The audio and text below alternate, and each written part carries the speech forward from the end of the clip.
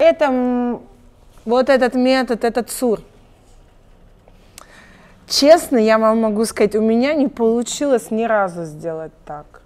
Откуда он взял вот эти вот такие мобильные ткани? Он показывает, что он необно вот это все расщепляет, ну, вестибулярно понятно, мы расщепились, и вот подтягивает, это как бы туннельная техника получается на сосочек, и туда уж подшивает трансплантат. У меня это два раза закончилось тем, что я просто сделала вот здесь небный разрез и прооперировала так, как в первом клиническом случае.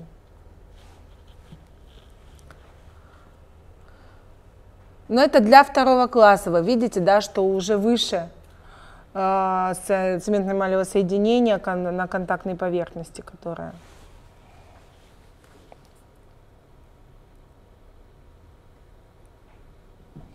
Третий класс по Тарну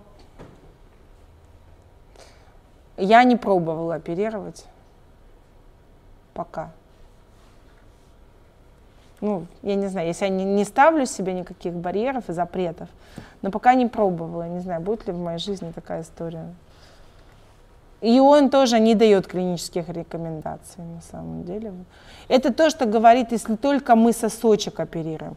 Если то, что у нас совмещено, как мы вчера с вами, да, я вам показывала, когда мы оперируем э, рецессии и останавливаем параллельно этим методом ВИСТа и сосочки, и рецессии устраняем, это другая песня, там немножко другая работа.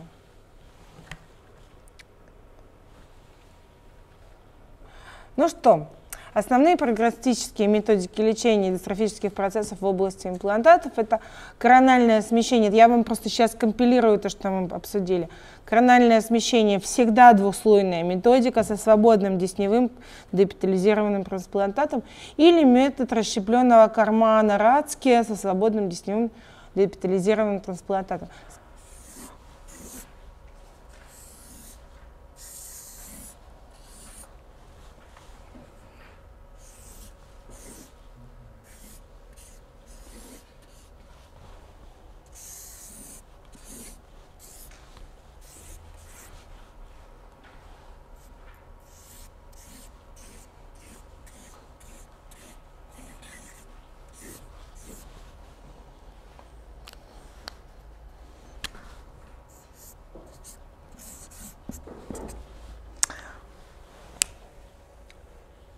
А, у Михель там только результат, там нет операции не верхней или есть?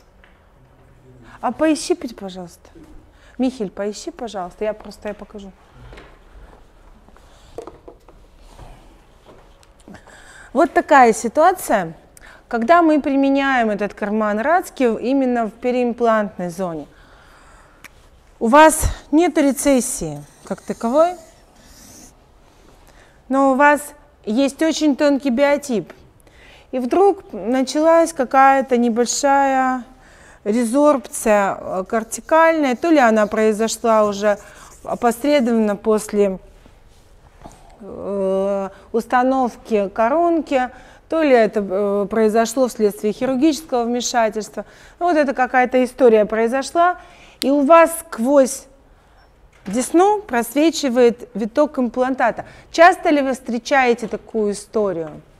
В данной ситуации, если вы не хотите делать корональное перемещение, к нему нет показаний на самом деле, потому что как таковой рецессии у вас нету. Но это надо решать. Решается это с помощью применения свободного десневого деэпитализированного трансплантата методом кармана. Э, вчера я рассказала, вот да, это выглядит вот так, плюс-минус ртом. Вчера мы обсудили, кто такой э, Карл Радский, это чешский профессор, пародонтолог, который первый в свое время, он был как бы заложником, родоначальником всех тоннельных методик, потому что он первый предложил, что не надо там резать ничего, надо вот так взять, отслоить, расщепить, сделать там кармашек и туда что-то уже вносить, какой-то пластический материал. Соответственно, никаких сложностей, вы расщепляете вот эту зону. В области имплантата э, обратите, пожалуйста, внимание, понятно, что здесь невозможно сделать расщепление данной структуры. Это просто не, ну, технически невозможно. Там настолько тонкий биотип, что вы просто спокойно, полнослойно все, что там есть, отслаиваете, а боковые поверхности уходите в расщепление. Вот, билатерально от имплантата вы расщепляетесь. Зачем? Да, для питания. И туда на заводящих, опять же, по формуле мертвая зона на 2, заводите на заводящих швах, этот трансплантат фиксируете и фиксируете снаружи прижимающим швом крестообразным. Нет, нет, нет. В области имплантата она э, у вас вся просто некротизируется. Люди.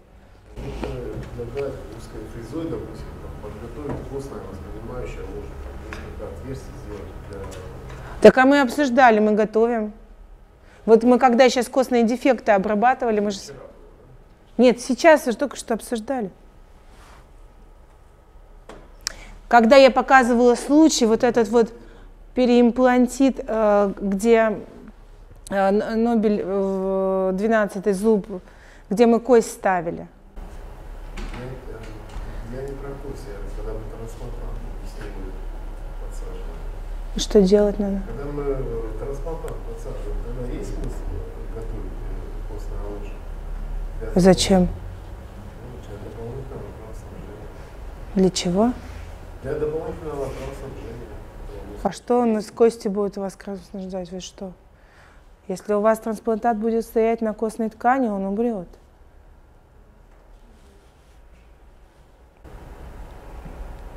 Но все равно же где-то он какой-то часть он касается. Не касается. Он, соедин... он э, в соединительной ткани находится у нас. Мы вот эти участки расщепляем.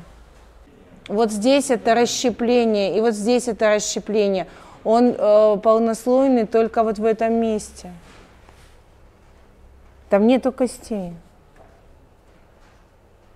А как вы в карман, вот в этот в туннельный, как чем-то заберетесь вообще еще?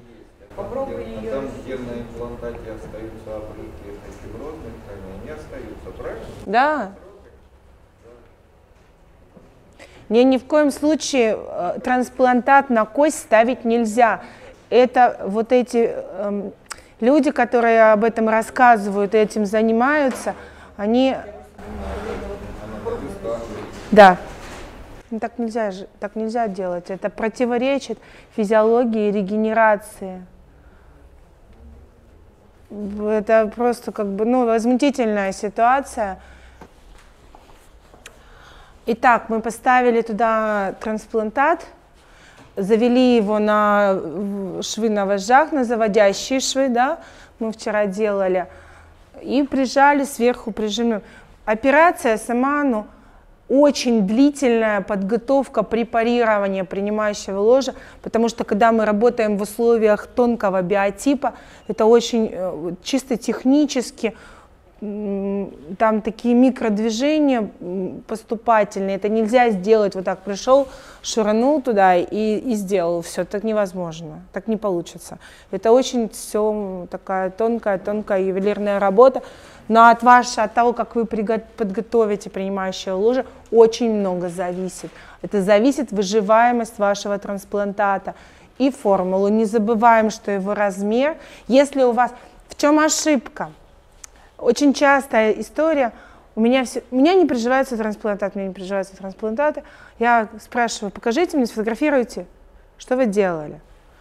Вырезается трансплантат ровно по размеру диаметра имплантата, и туда такой аккуратненькая операция, малюсенькая, он туда подсовывается, а через неделю приносит его пациент на ниточке. Но мы теперь с вами договорились, что мы так не делаем. Размер, правильное препарирование и расщепление билатеральных поверхностей. И сверху обязательно крестообразный. Обратите внимание, в этом случае крестообразный шов мы проводим через межзубные сосочки. Это удобно. Вы правда, имеете право пришиваться, правда, сквозь межзубной сосочек при, при исполнении крестообразного шва вертикального.